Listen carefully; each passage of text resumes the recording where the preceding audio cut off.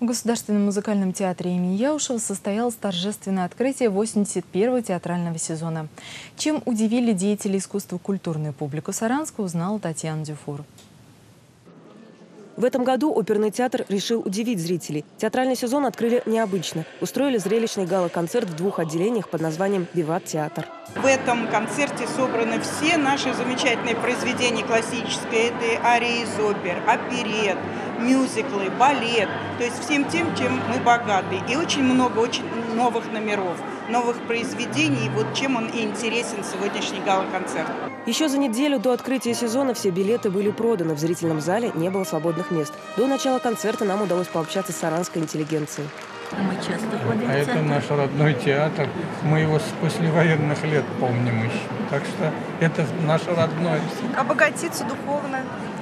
Как-то вот захотелось э, отдохнуть душой. В театре всегда отдыхаешь, наслаждаешься. У нас э, уже не первый год ходим, красивые делают постановки наши артисты. Приятно посмотреть. Открытие – это самое главное событие, пропустить его просто было невозможно, тем более возможность провести вечер с мамой. Может быть, кусочек из балета какой-то покажет, может быть, интересные партии из опер, оперет интересные какие-то послушаем. Все, все интересно. Что покажет, все посмотрим. На сцене лучшие артисты республики. Режиссер-постановщик масштабного мероприятия Эдуард Храмов рассказал нам о том, какие сюрпризы подготовил для культурной публики Саранска. Это будет для зрителей небольшой какой-то такой сюрприз.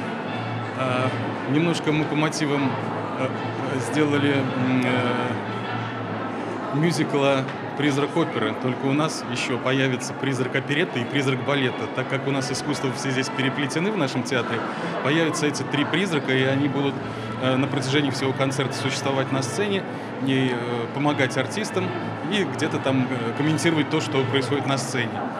Эффектнейшим номером, который получил зрительские овации, стал дуэт «Лакме» и «Маляки» из оперы «Лакме» вынужденная тавтология. Его исполняли заслуженные артистки республики Ирина Пережогина и Екатерина Ланцева.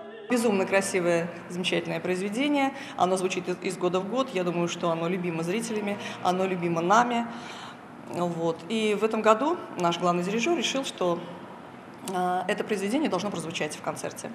Открытие театрального сезона никого не оставило равнодушным. В этот день зрителям удалось послушать и увидеть фрагменты лучших классических произведений – русских и зарубежных.